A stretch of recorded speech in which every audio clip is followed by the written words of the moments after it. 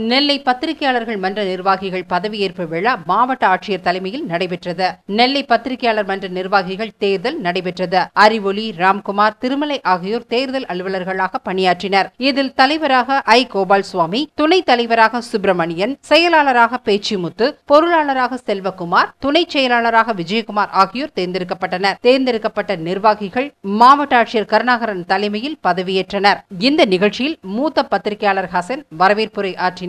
முப்புடாதி நன்றி கூறினார். இதில் பல்துறை அதிகாரிகள் முன்னாள் இந்நாள் மன்ற பொறுப்பாளர்கள் பத்திரிகையாளர்கள் பலரும் கலந்து கொண்டனர்.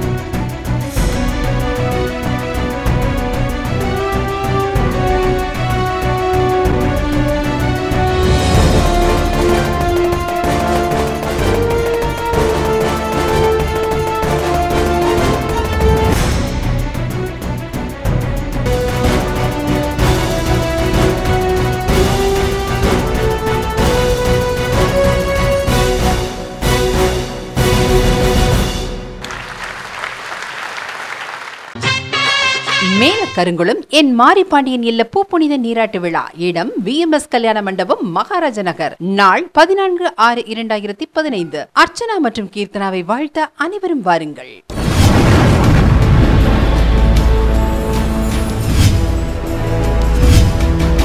நீங்கள் பார்த்துக் கொண்டிருப்பது உங்கள் கதிர் டிவி.